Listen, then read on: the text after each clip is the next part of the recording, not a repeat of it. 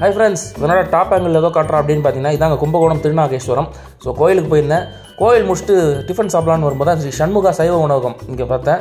இங்கே வந்து தோசை மாஸ்டர் சும்மா வேறு லெவலில் போட்டிருந்தாரு. அதேமாதிரி இங்கே எந்த செட்டப் பார்த்தீங்கன்னா ட்ரெடிஷ்னல் செட்டப் இந்த கலகலப்பு படத்தில் வர மாதிரி ஒரு பழைய காலத்து வீடு அதில் வந்து ஹோட்டல் வச்சுருந்தாங்க. நிறைய பேர் உட்காந்து சாப்பிட்லாம். அந்த மாதிரி தான் டேபிள்ஸ் இருந்தது. மாஸ்டர் வந்து சும்மா தோசை முருகலாக போட்டுட்டு இருந்தார். அதை பார்த்தோன்னே கண்டிப்பாக சாப்பிட்டே ஆகணும் அப்படின்னு முடிவு பண்ணிட்டு அதோட சின்ன ஃபுட்டேஜ் எடுத்துகிட்டு அப்படியே போய் உட்காரலான்னு போனேன். என்ன அப்படின்னு பார்த்தீங்கன்னா அந்த தோசை எல்லாமே முப்பது ரூபாங்க. ஊத்தப்பம் இருபது ரூபா பூரி செட்டு வந்து ஒரு பூரி செட்டு முப்பது ரூபா வடை வந்து பார்த்திங்கன்னா வெறும் ஆறு ரூபா. ஸோ எல்லா ஃபுட்டேஜும் அட்டாச் பண்ணிருக்கேன். தோசை பார்த்திங்கன்னா எவ்வளோ முருகலாக அப்படியே இருக்குது இந்த தோசை வெறும் முப்பது ரூபா தான். நான் வந்து ஒரு பொடி தோசை சாப்பிட்டா அதையும் அட்டாச் பண்ணியிருக்கேன் பொடி தோசை வெறும் நாற்பது ரூபாங்க. நாற்பது ரூபாய்க்கு அந்த ஒரு பொடி தோசையும் ஒரு வடையை சாப்பிட்டாலும் வயிறு ரொம்ப டிம்பிள் இருக்குது அந்தளவு இருக்குது டேஸ்ட்டு பார்த்திங்கன்னா சும்மா தரமாக இருக்குது சாப்பிட்டாலே அப்படியே நாக்குள்ள சர்றன்னு இறங்குது.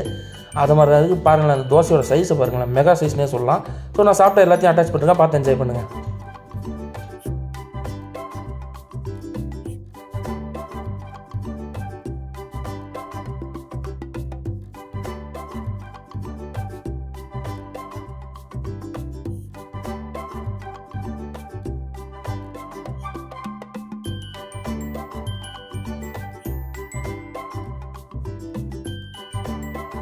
அப்படியே ஒரு பூரியும் டேஸ்ட் பண்ணிவிட்டு பில் எவ்வளோன்னு கேட்டால் நூற்றி ஆறு ரூபான்னு கையில் எழுதி கொடுத்தாங்க. இப்போ பார்த்தோன்னே ஷாக் ஆகிட்டோம் ரெண்டு பேர் சாப்பிட்டு நூற்றி ஆறு ரூபாயா?